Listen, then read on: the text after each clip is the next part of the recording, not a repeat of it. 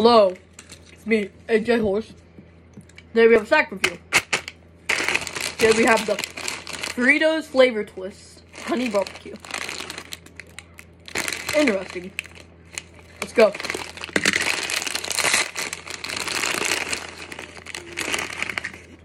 Woohoo!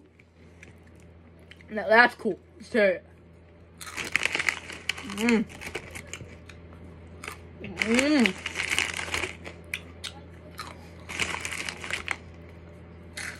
Mmm. Mmm.